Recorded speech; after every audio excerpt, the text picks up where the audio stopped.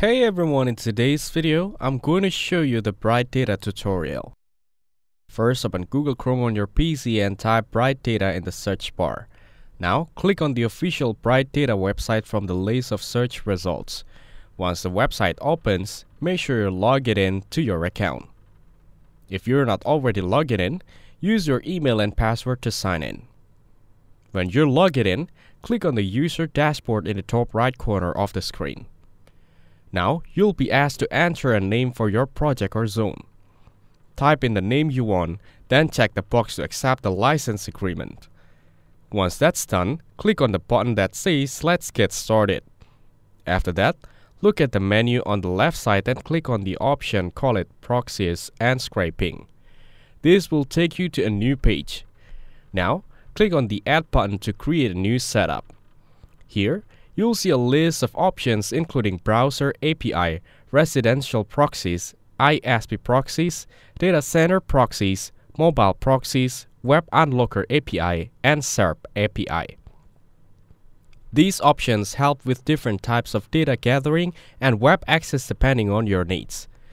Scroll down a little and you'll see another section called Scraping Solutions, which includes tools made for collecting data easily.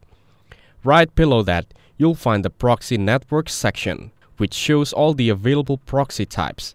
Now, find residential proxies and click on the Get Started button next to it. On the next screen, you'll need to enter some details such as the zone name, a short description, and select the type of proxy you want to use. Then, click on the Add Country button and choose the country where you want your proxy to be located. Once that's done, you'll see the traffic cost so you can check the price based on your usage. Next, from the left-hand side menu, click on Web Scrapers. This will open up the Web Scrapers library where you can find ready-made tools for scraping websites. In the search bar, type wiki and press enter. Now, click on the scraper that appears in the results. You'll see a list of available articles. Click on any one that you want to view. A screen will appear asking what service you would like to use. Make your selection, then click on Next to continue. Here, you will see an overview of the scraper and what it can do. After checking that, go back and click on Proxies and Scraping again from the left menu. Now, look to the top right corner and click on Add Payment Method.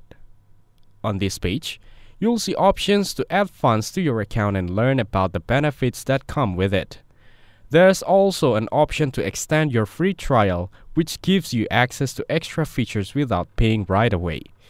Now, click on Add Funds Now. You'll be begin a list of payment options such as credit card, PayPal, Alipay, Payoneer, and ACH. For example, if you choose PayPal, you'll be asked to enter your email address or mobile number linked to your PayPal account. If you prefer using a card, simply enter your cardholder name, card number, expiration date, and security code to complete the payment process. And that's how you can set up and start using Bright Data in a simple way.